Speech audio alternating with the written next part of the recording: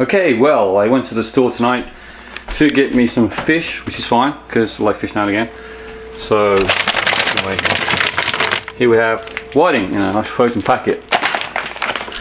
So I get the packet out, and first, um, the fish we have out, just show that what they look like. We have frozen fish, fine.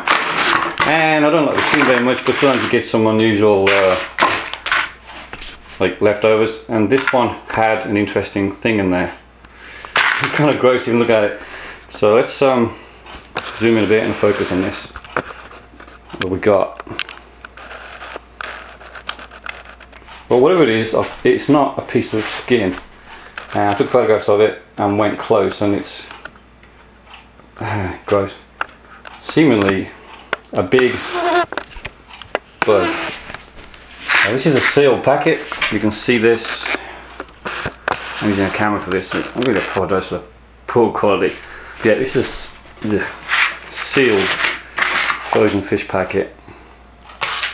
With obviously zero quality control because we have this very major, horrible looking bug. So I've left it.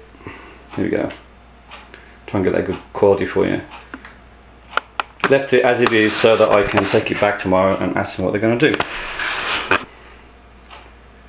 I want to clean up, I actually bought this fish for my turtles who would love the bug.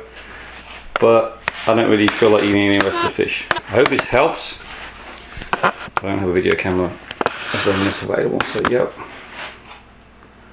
I have to move in and out to get it in focus. That is not normally expected with a piece of fish. Okay.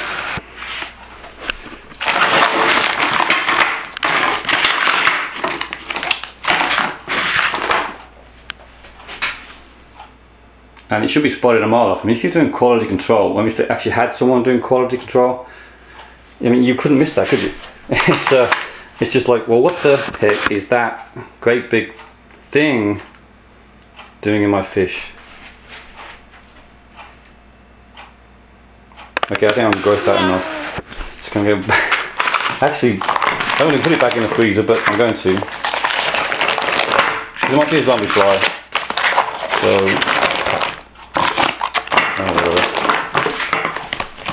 thank you very much for watching this fish with added protein, add insect, uh, may contain peanuts and or insects. Well, it's going to harm any of my food.